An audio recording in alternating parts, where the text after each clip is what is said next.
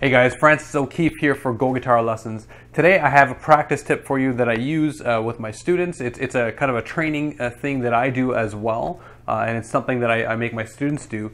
Now, what it is, is it's playing slow.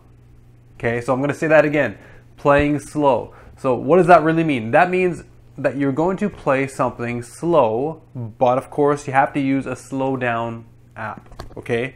Now, the reason why I'm emphasizing slow is because there's a lot of um, uh, players that, that I teach, especially intermediate players, where they can, they can play something fast, but if I slow it down too much for them, uh, then they have a lot of trouble and they start complaining like, hey, hey, slow, I can't play slow. It's too hard to play slow.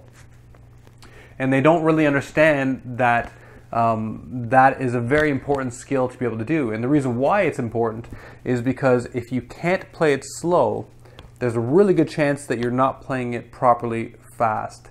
And the reason that you can't tell, it might it may sound good fast, is because when you play fast, all your mistakes are, are, are shrunk. When you play slow, all your mistakes they get magnified. Okay, so in addition to playing slow, uh, what happens is that you learn the small little nuances of uh, what's happening. Okay, so especially in a guitar solo, every player has a certain kind of style, a certain way they bend the string, a certain nuance. Uh, and sometimes you could even be mixing up um, hammer-ons, pull-offs, slides, and bends. Uh, because they're all a form of, of slur technique, you could be um, misinterpreting what actually uh, is being played. And of course, if you uh, learned from tablature or a YouTube video, whoever you learned it from could actually uh, be teaching you the wrong way. So by playing something slow, you will get the best uh, training possible. So let's take a song that, that you think you're amazing at, a song that you know you can crush it. Okay, so take that song, play it at half the speed. Can you do it? Are you struggling a lot with it? If so, then that's a weakness of yours.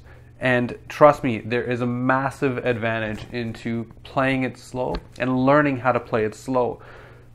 You slowly move yourself up in 5% increments, get back to the 100%, and eventually get to 110 or 115% because you have to be able to play it that fast to be able to play it comfortably at 100%. Okay, so play it slow. So download um, a slow downer app like um, Anytune.